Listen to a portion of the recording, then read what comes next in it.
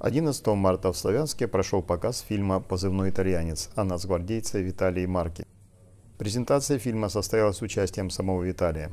Вместе с ним фильм представили директор Департамента коммуникации МВД Украины Артем Шевченко и генеральный директор издательства «Фолио» Харьков Александр Красовицкий. Показ прошел в кинотеатре «Сапфир». Также во время мероприятия была презентована книга издательства «Фолио» Виталий Маркев, которая подготовлена Дарьей Бурой. Зрителями документального фильма в Славянске стали военнослужащие Национальной гвардии, полицейские, бойцы ВСУ, жителі і представителі СМІ. Давайте спілкуватися. Можемо вступне слово сказати, можемо одразу з ваших запитань розпочати. Віталій Марків, головний герой цього фільму, військовослужбовець Національної гвардії, Олександр Красовицький, директор видавництва Фоліо, який презентує тут декілька книжок. Це безумовно перша книжка, яка має відношення до сьогоднішнього заходу Віталій Марків.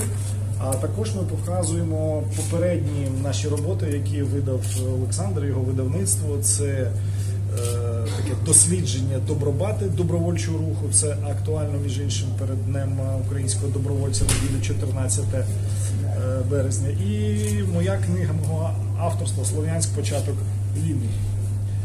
Е, Фільм зараз іде. Хто, якщо раптом не подивитеся його повністю, можете подивитися в неділю, 14 березня, ICTV о 8.40. Так само ми плануємо його показати в ефірі одного з телеканалів. Скоріше все, це буде телеканал Україна в п'ятницю, 26 березня, на День Національної гвардії.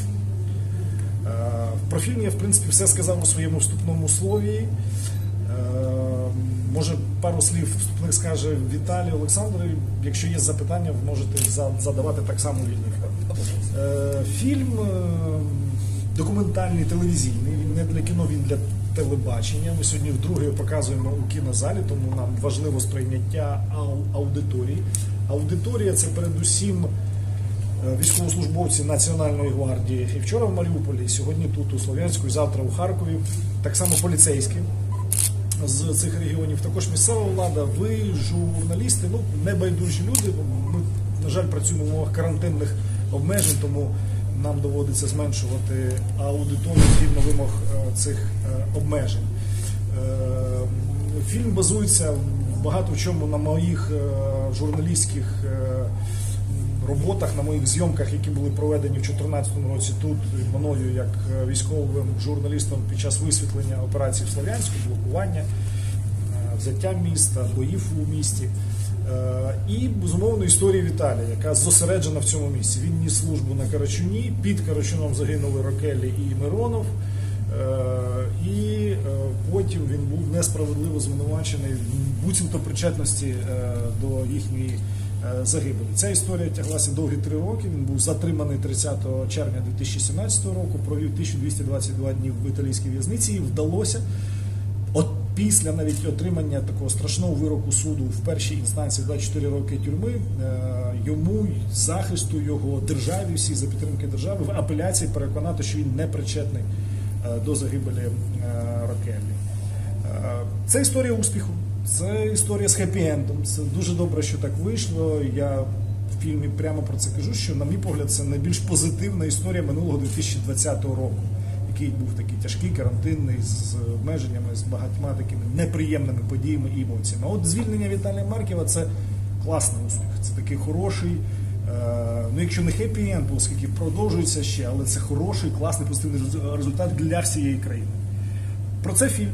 Він е, знятий показаний просто, е, хронологічно від того, що було, як розвивалося, з зазначенням головних е, дат е, і операцій в Слов'янську, і потім е, історії самого Віталія, його цієї кримінально-юридичної драми. І я думаю, що ну судити вам. Ми дуже сподіваємося на ваші небайдужі відгуки, статті, рецензії, замітки, дописи. Але наша задача, щоб з цим фільмом ознайомилася якомога ширша аудиторія. Насамперед він висвітлює ті події, які відбувалися, без перебільшення, без якогось там викривлення. Тому, в принципі, на мою думку, саме так події відбувалися. Звичайно, це все якось в форматі зжато, але е, якісно та ефективно. Послухайте запитання. Що відбувалося якби все-таки Україна і, е, скажімо так, е, сторона захисту не перемогла, і якби ви там залишилися? Який би це, який би це удар був в Україні? В чому і, і нам би взагалі, як, як громадянам взагалі? Негативний розвиток, якщо б був подій, чим до чого це призвело? Так, що стосується особисто моєї позиції, воно би не змінило абсолютно ні на грам, ні на, ні на міліметр. Тобто я, е, я готувався до такого розвитку подій, що стосується, ну, там, можливо, невиправдального вироку стосовно апеляції, тому що розумію, наскільки це все важко, наскільки це все заангажовано. І морально та психологічно я підготувався до а, позову в Брюссель, тобто в Європейський суд, в Страсбург, вибачте, в Страсбург а, до Європейського суду з прав людини. Розумів, а, наскільки це все важливо, бо тому що розумів, а, що би е, це спровокувало. Насамперед це дискредитація з усіх збройних формувань і можливе використання для майбутнього такого геополітичного тиску на Україну. Тому, в принципі, а, а, так висвітлити а, добровольців та всіх тих, хто не зрадив присягу та а, захищав, захищає Україну, в майбутньому могли просто-напросто, крім того, що якось дискримінувати і просто-напросто сказати, що це військові злочинці. Давайте я додам. Е, Я директор видавництва Фоліо, це наші книжки. Е, І головне в тому, що вийшла книжка, і в тому, що вийшло, вийшов фільм. Це е, всім, хто захищає Україну, всім, хто буде захищати, показати, що держава Україна своїх не здає. Що вся історія з Віталієм закінчилася позитивно саме тому, що з українського боку була проявлена останні роки активність е, не тільки в суді.